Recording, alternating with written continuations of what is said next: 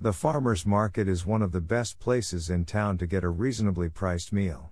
You'll also find quite a few places in the market that have won awards for their cuisine, including Monsieur Marcel, the Gumbo Pot, Cajun, and others.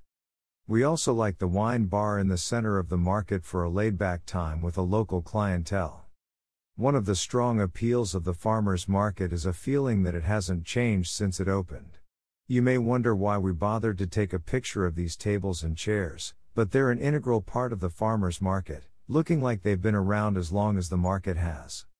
Equally as charming are the market's shopping carts, with wooden, slatted sides and handle, but we'll let you discover them for yourself.